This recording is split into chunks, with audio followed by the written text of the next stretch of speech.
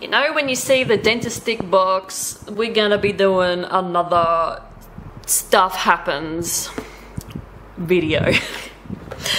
um, I haven't moved them out of this box.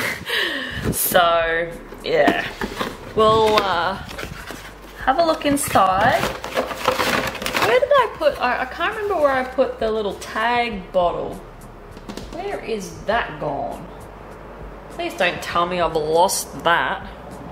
Oh no, here it is. Found it. Ha! Here it is.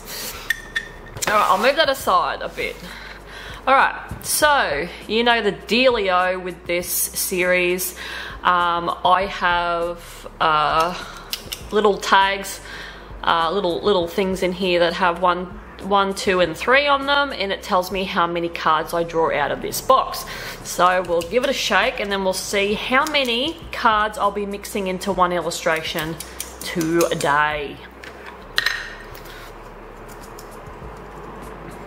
All right. Oh, Jesus. I got three again. Wow. All right, we're drawing three cards out. All right, here we go. Give them a little bit of a a little bit of a shake. All right, first card. Actually, what, we'll, what we might do is we might do them like a like a tarot deck. I'll draw out the three cards, and then I'll spin them over. Turn them over, I should say.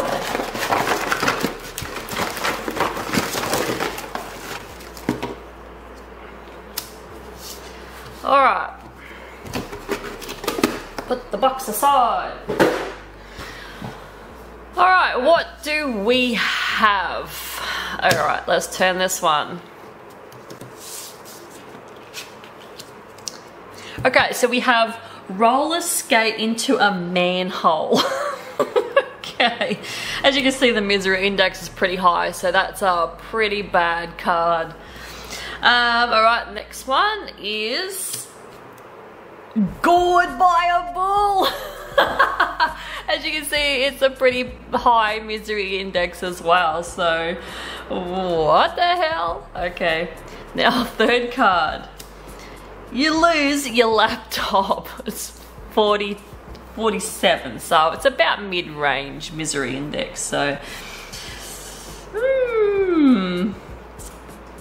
Okay, we'll take some elements of all three of these and let's come up with a completely ridiculous story like I did last time with, uh, you know, that includes these three cards. So for this illustration today, I am using my Eraldo Di Paolo. Uh, I think this one is, uh, what was this one again? Cold press? Watercolor pad.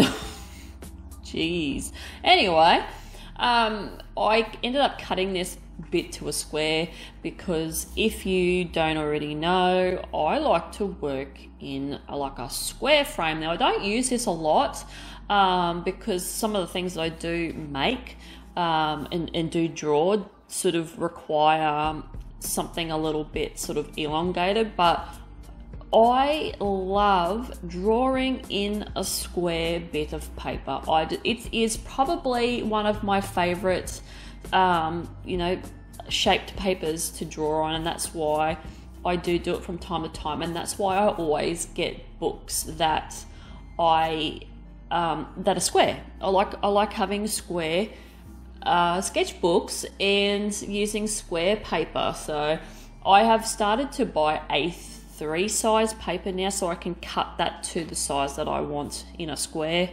Uh, I also don't mind the, um, what's my favourite paper called again? Strathmore. The uh, Strathmore paper that I do get is it's not a full A4 size. It's a, like a it's been shortened and it's more of a like a it's still a rectangle, but it's not a very intense sort of rectangle.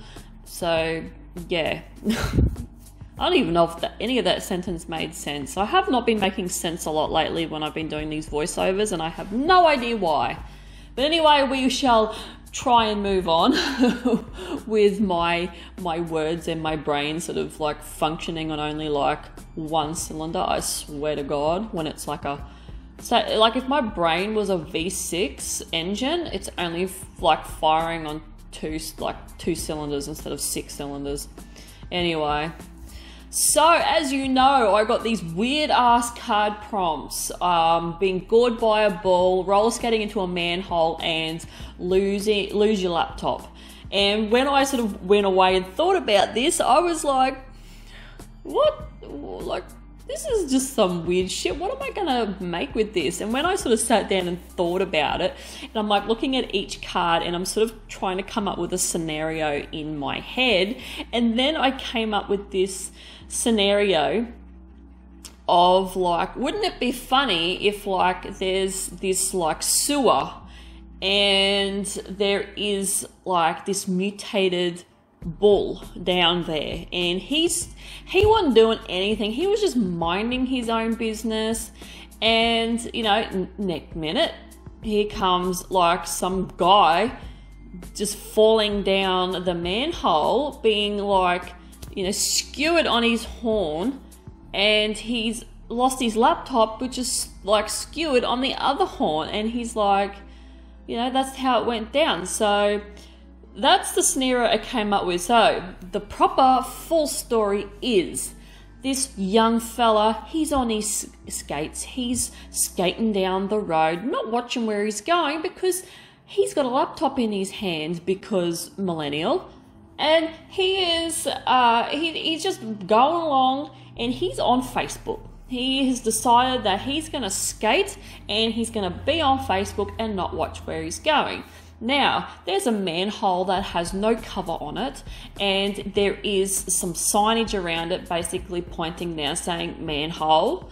Uh, there's one up a little bit further, which is I didn't draw in the picture to say, you know, caution, manhole. So he's just going along on his Facebook, not watching what he's doing. Don't ask me why he has a laptop while he's skating when he could just be on his phone. But, you know, for the principle of this task and these, um, what do you call it, prompts, cards that came out for the prompts, that's what we're doing, all right?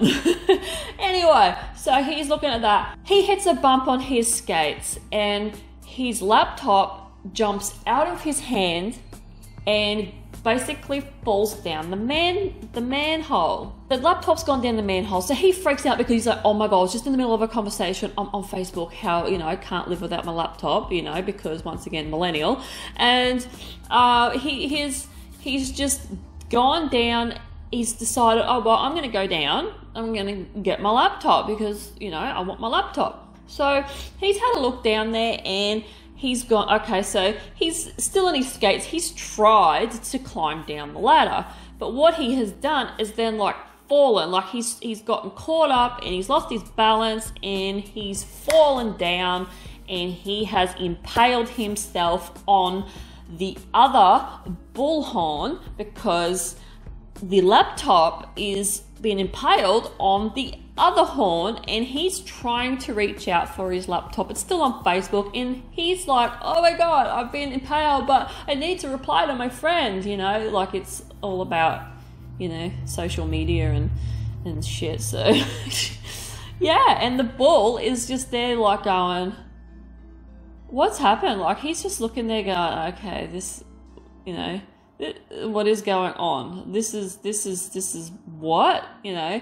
He he's he's pretty cool, calm, and collected, but he's sort of wondering what the hell's just going on. Why has he got some dude with skates on, kicking and screaming, but is trying to get to his laptop, which is on the other horn? So yeah, that's my story.